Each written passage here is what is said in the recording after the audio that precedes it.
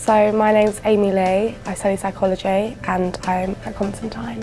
I'm so, so happy about the bus system being free because I'm literally other side of Campus West. So I get the bus to the uni and then I walk through. The Glass House, yeah, I'm there all the time. Drinks are so cheap, the atmosphere is so buzzy. It's just a really nice place to hang out and plus all the other colleges go there as well. So when you're in there, it's not just Constantine.